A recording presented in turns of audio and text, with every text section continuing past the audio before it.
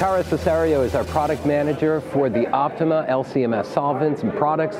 Cara, here at the ASMS show, we're talking about transforming our customers' science and their research. Tell us why it's so important in terms of the chemicals and the solvents they're using in their work. Limits of detection keep getting lower and lower, and it's such a crucial thing that our customers are using the right tool for the right application. So what we offer is Optima LCMS solvents and additional products that are tested for use in both LC and MS. And what's the product portfolio and range that people should know about? We have the four key solvents, acetonitrile, methanol, water, and isopropanol.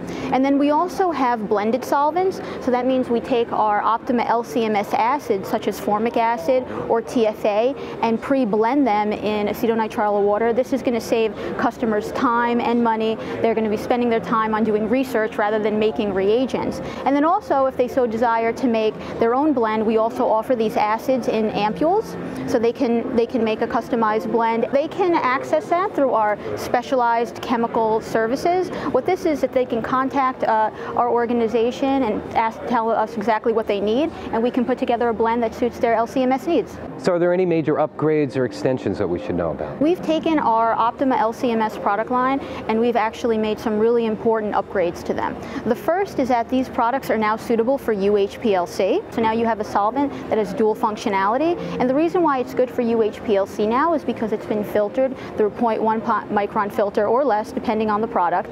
And this is great for not clogging up columns for UHPLC or other components. So now there's going to be less maintenance for the instrument. That's one crucial piece. And the other one that I'd really like to bring up is that we've taken our LC UV gradient spec and have totally modified it. This is truly unprecedented and a novel specification on these types of products. What we used to do and what our competitors do is they're looking at UV absorption impurities at single channel, so either at 210 or 254 nanometers, but that, that can be an issue if your lambda max for the analyte of interest is absorbing at a different wavelength. So what we've done is we've used a PDA detector and we're scanning the entire UV range from 200 to 400. So this will allow customers to have a more specific solvent for, for what they need. And then finally, we've also upgraded our uh, mass spec specifications too.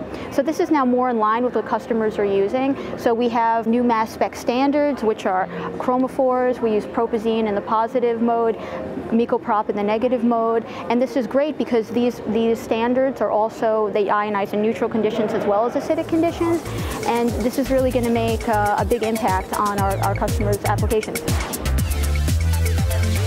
Learn more at fishersci.com slash chemicals.